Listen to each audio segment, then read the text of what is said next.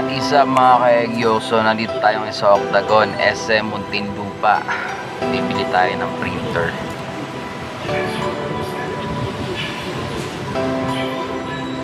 So yan yung napili natin printer. Um, lalagyan nila ng ink para matest or ma-check.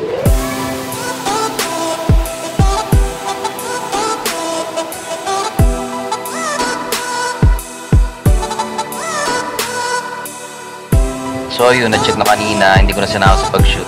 Medyo ah, haba yung video na to eh. So, let's go. So yeah, nakauwi na ako and time to check. So yan yung printer.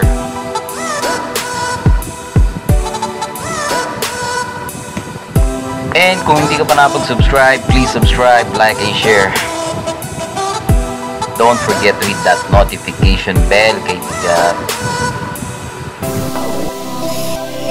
Tandaan mo kung lagi tayo nagsisikap, nagpapakahirap sa trabaho, wala naman dapat isipin para kinabukasan. Ang gagawin mo lang, trabaho, magsumikap, magpagod at harapin mo kung anong meron ngayon. Huwag puro reklamo. Magtrabaho tayo, magtulungan. Yun lang naman eh. Wala tayong mararating kung puro reklamo tayo sa buhay. Nasa sa atin yung dapat nating gawin. Kung magsisikap tayo, kung magtatrabaho tayo, isipin mo na lang kung para saan lahat yung ginagawa mo. Hindi mo yan ginagawa para sa iba. Ginagawa mo yan para sa sarili mo. Para matuto ka sa araw-araw na pamumuhay, kailangan mong iangat yung sarili mo. Hindi dahil lugmok ka, baon ka, dun ka na lang, umangat ka, maging konkreto yung buhay mo. Pero syempre, huwag mo kakalimutan magpasalamat lagi sa itaas, sa Diyos na lumikha. Lagi ka magpapasalamat. Dahil lahat ng blessing na tinatamasa mo ngayon ay dahil sa sipag mo at dahil sa tulong niya. Ginagabayan niya tayo sa pang-araw-araw ng buhay. Mapamahirap man, mayaman man, o kung anumang sitwasyon ng meron ka, hindi tayo pababayaan 那你就是他妈